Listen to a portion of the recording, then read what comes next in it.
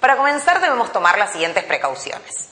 La primera es haber encendido la lámpara por lo menos 10 minutos antes de usar el polarímetro para lograr que se estabilice. La segunda, si correspondiera, es llevar a cero el equipo, no en este caso. Y la tercera, y no menos importante, es asegurarnos de que la solución con la que vamos a trabajar sea perfectamente límpida y traslúcida. A continuación, tomamos el tubo portamuestra y lo llenamos con la solución a medir, de esta forma.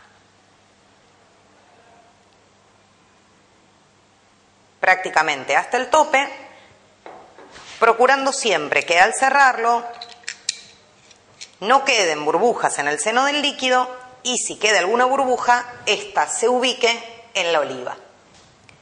La oliva la colocamos hacia arriba y cerramos la tapa del polarímetro. A continuación, observamos a través del ocular, a la vez que movemos la perilla que gira la escala graduada, para poder encontrar una situación de luz tenue, luz tenue, como se muestra aquí.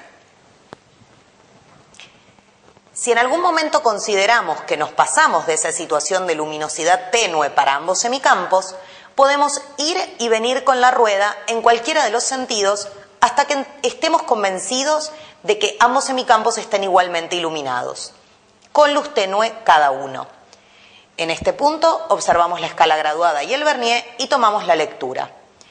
No olvidemos que la lectura se trata de ángulos, que son magnitudes con sus correspondientes unidades, los grados.